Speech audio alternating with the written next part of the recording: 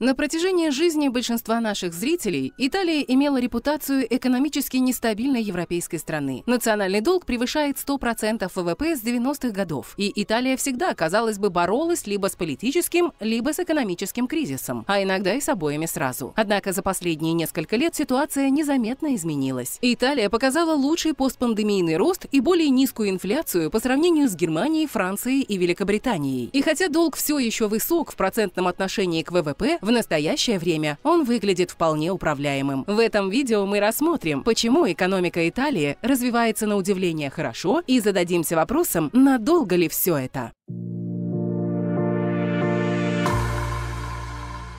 Чтобы разобраться в экономических проблемах Италии, необходимо вернуться в 80-е годы. Как и многие другие европейские страны, экономика Италии испытывала трудности в 70-е годы. Рост цен на нефть после арабо-израильского конфликта оказал давление на уровень жизни и подстегнул инфляцию. Однако, в отличие от других европейских экономик, включая Великобританию, Италия быстро восстановилась в 80-е годы, по крайней мере, если судить по ВВП. В то время этому способствовало множество факторов. Некоторые аналитики отдавали должное итальянскому центральному банку, который прекратил финансирование госдолга, то есть прекратил печатание денег. Другие отмечали заслуги правительства в части отмены индексации заработной платы, которая, по сути, гарантировала увеличение зарплат работников при высокой инфляции и создавала инфляционную спираль зарплаты цены. Международные аналитики часто отмечали заслуги малых и средних предприятий Италии, которые в 80-е годы пережили экспортный бум. Эти предприятия в основном производили одежду, мебель и текстиль, на которые был высокий спрос на международном рынке. МСП стали рассматриваться как основа экономики Италии. Даже сегодня экономика Италии держится на МСП,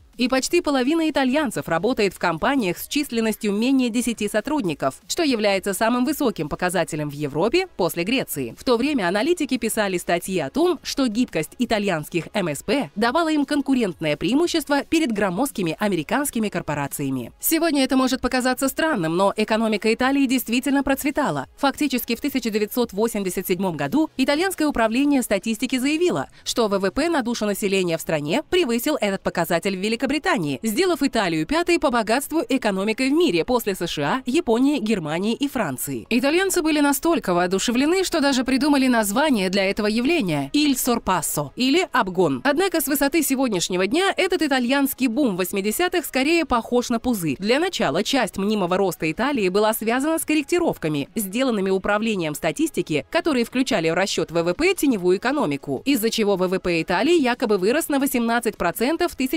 1986 году. Но более важно то, что значительная часть роста Италии в этот период была обусловлена неустойчивыми государственными заимствованиями. Национальный долг вырос с 59% ВВП в 1980 году до 123% в конце 1994 года, что более чем в два раза превышало показатели Франции и Германии. Итак, этот долг, накопленный в 80-х, по сути является основной причиной длительных экономических проблем Италии. Отчасти потому, что тогда расходы на заимствование были значительно выше. Италия с тех пор испытывает трудности с обслуживанием этого долга, то есть с выплатой процентов. В процентном отношении к ВВП затраты Италии на обслуживание долга выросли практически с нуля в 1970 году до 4% ВВП в 1980 году и затем примерно до 10% в 1990. Трудно даже представить это безумие. 10% ВВП. Это примерно в 5 раз больше, чем бюджет НАТО на оборону или больше, чем весь бюджет здравоохранения Италии. Хотя этот показатель с тех пор стабилизировался на уровне около 4%, это все равно вдвое больше среднего показателя по ОЭСР. Фактически, если исключить затраты на обслуживание долга, Италия имеет одни из самых больших бюджетных профицитов в Европе благодаря серьезным сокращениям государственных услуг. К сожалению, для обычных итальянцев эта экономия не дала значительных результатов. И рост итальянской экономики с тех пор был застойным. Таким образом, ни долг, ни расходы на его обслуживание относительно ВВП существенно не снизились. Однако в последние несколько лет экономика Италии внезапно начала показывать осторожные признаки роста. Согласно данным Федерального резерва, Италия продемонстрировала лучший постковидный рост среди всех экономик G7 в Европе с увеличением ВВП на 4,2% с конца 2019 года по сравнению с 1,9% во Франции, 1% в Великобритании и всего 0,1% в Германии. Инфляция также значительно снизилась в Италии с конца прошлого года года и в настоящее время составляет всего 75% по сравнению с 2,5% в Германии и 2,9% во Франции. В то же время, хотя долговая нагрузка Италии по международным стандартам все еще довольно велика, она значительно снизилась с начала пандемии, сократившись со 155% ВВП в 2020 году